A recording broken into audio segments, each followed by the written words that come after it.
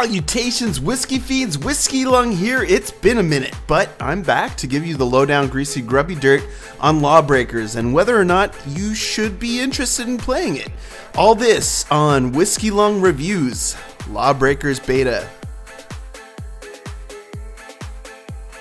So, Lawbreakers is a team based, objective, first person shooter and uh, I was able to recently play the open beta and was initially involved in the alpha test, although I'm embarrassed to say uh, that I did not get to log in to play the alpha test when it was doing its rounds. But if you're a fan of my channel, you'll know that I haven't really had a chance to do fucking anything lately. I don't think I've uploaded a video since December every time I see promos for this game or a fellow YouTuber giving their two cents about the game, I'm always left a little bit confused. This game was published by Nexon, who have their fingers in a lot of pies right now, and personally I felt like the other pies that they have their fingers in look a lot more appetizing than Lawbreakers. So why is this game seemingly getting more dollars to promote the game? I, I feel like they've, they've gotten a big budget for uh, promotion for this uh, particular game.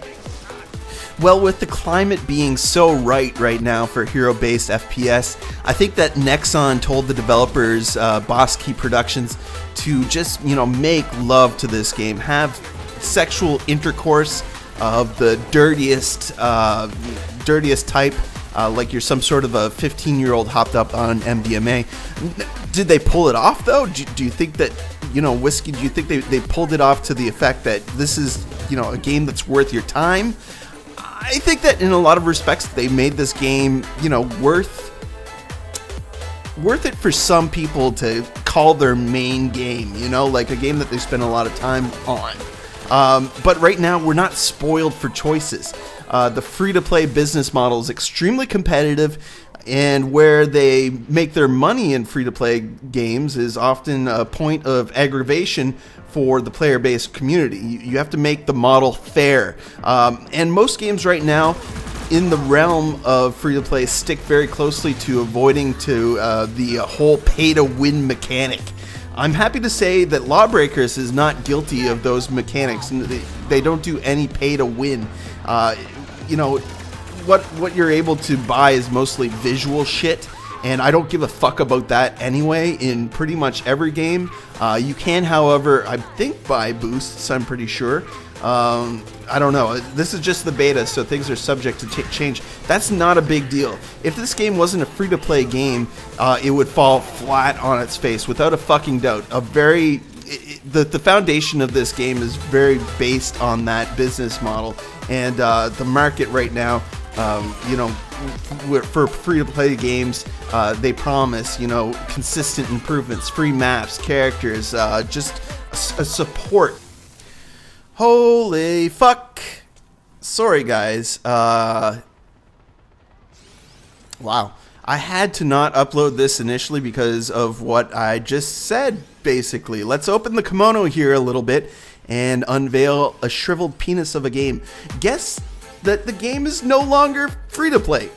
It actually was announced a long fucking time ago that it wouldn't be, and uh, I don't know why I thought otherwise. Maybe because it really feels and looks like a free to play game, and with games like Dirty Bomb and Ghost in the Shell basically being just as good or better than Lawbreakers, I'm now even more confused as why the, the game is getting so much advertising and so much, uh, su such a big budget to promote the game. Uh, of course, those games are from Nexon as well, so I don't I don't get it. I really, really fucking don't get it. I was going to talk about how the game uh, isn't for me because of the futuristic weapons and guns and arcadey style and the aesthetics, and uh, that the game is actually really fun. People that like the look of the game and the feel of the game uh, could possibly make this their main game. Grind out that shitty free to play uh, aspect where you know you, you get all your custom uh, character portrait garbage and taunts and shit like that that doesn't interest me at all. But now, unless they remove the loot crate garbage and all that shit, all the free to play aspects from the game, uh, which I think are is just a contrivance uh, from free to play games. It well for first person shooters uh, right now, really, because Battlefield and Call of Duty do it as well, and they're full price games. Just so stupid. Take the battle packs and all the loot crates and all that shit out of your game. It's not fun for me. It's not a fun play loop. It's not a fun progression system. It's a contrivance. It doesn't add fun to the game. Uh, anyway, I, I digress. So, what could they make this game appealing? How could they make Lawbreakers appealing again to the audience uh, now that it's uh, not going to be a free to play game uh, from what I've experienced from playing the beta? Uh, well, maybe add about 12,000 man hours to adding content, weapons packs, different game modes, a single player. Honestly, I don't really know how they'd appeal to a market of gamers with this game at the moment. Let me say this.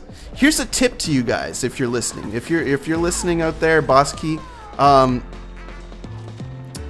please don't charge more than $14.99 for this game. Don't you fucking dare. As long as you remain under $20 USD, you might have a chance in hell to appealing to some demographic of gamers out there, but as it stands, in a time where the market is so fucking competitive and most players have a main game, you know, a game where they, they crank out anywhere from uh, 10 to 20 to 40 to 50 hours a week, uh, spend most of their time with that game this Lawbreakers, it just doesn't fucking stand a chance in hell. It doesn't.